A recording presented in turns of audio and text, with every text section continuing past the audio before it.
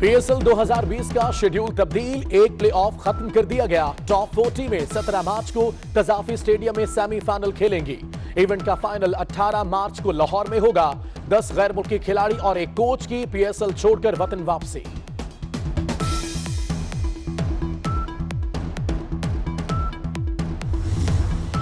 मुल्क भर में हेल्थ इमरजेंसी नाफिज होगी या नहीं? कौमी सलामती काउंसिल आज फैसला करेगी। वज़ीर आज़म इमरान खान की जेर सदारत इजलास में तीनों मुसल्ला अफवाज के सरबराहान भी शिरकत करेंगे।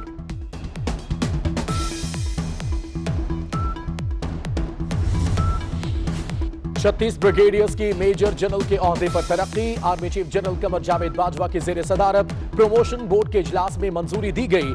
आईएसपीआर के मुताबिक आर्मी मेडिकल कोर के 11 ब्रिगेडियर्स भी तरक्की पाने वालों में शामिल हैं।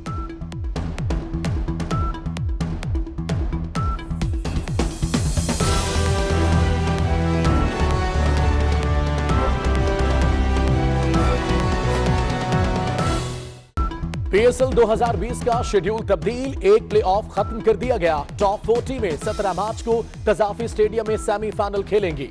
इवेंट का फाइनल 18 मार्च को लाहौर में होगा। 10 गैर मुल्की खिलाड़ी और एक कोच की पीएसएल छोड़कर वतन वापसी।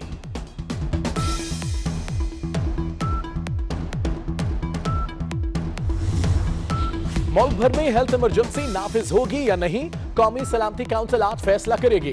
वज़ीर आज़म इमरान खान की जेर सदारत इजलास में तीनों मुसल्ला अफवाज के सरबराहान भी शिरकत करेंगे।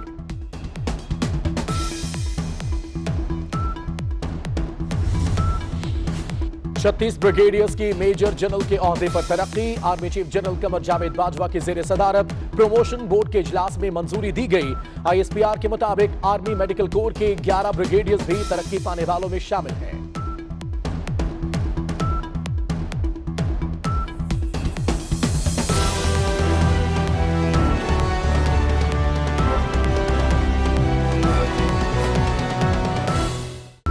पीएसएल 2020 का शेड्यूल तब्दील, एक प्लेऑफ खत्म कर दिया गया। टॉप 40 में 17 मार्च को कजाफी स्टेडियम में सेमीफाइनल खेलेंगी। इवेंट का फाइनल 18 मार्च को लाहौर में होगा। 10 गैर मुल्की खिलाड़ी और एक कोच की पीएसएल छोड़कर वतन वापसी।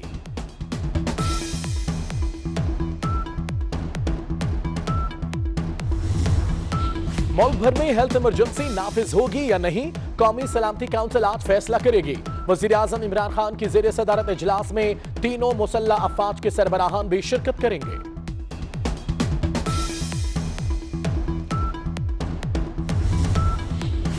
छत्तीस ब्रिगेडियर्स की मेजर जनरल के अहदे पर तरक्की, army chief general Qamar Javed Bajwa की जेर सदारत प्रमोशन बोर्ड के इजलास में मंजूरी दी गई।